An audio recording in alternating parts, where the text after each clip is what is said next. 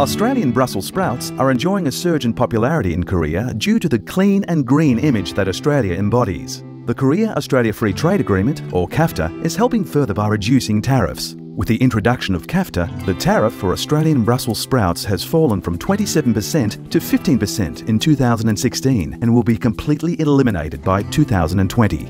어, 호주로부터 아스파라거스, brussels sprout, carrot, 아, 그리고 어느 정도의 종자도 어, 수입을 하고 있습니다.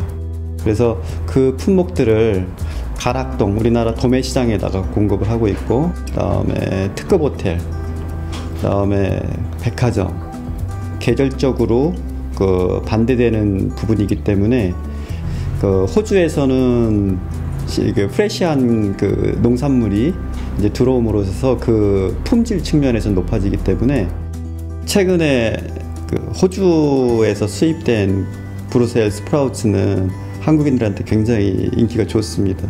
그 호주의 청정 이미지 때문에 그 다른 원산지 브루셀 스프라우츠보다 어, 선호하는 경향이 있습니다. 어, 일단은 FTA 한호주 FTA는 저희들한테 일단은 첫 번째는 원가 절감이고요. 그런 품목 다양화를 추구할 수가 있는 거고요. 어, 그 다음에 그, 그런 거를 바탕으로 해서, 그런 걸 바탕으로 해서, 아, 한국 시장의 농산물 유통망을 좀 더 확대할 수 있는 거래처들도 확대하고, 그런 효과가 있겠죠.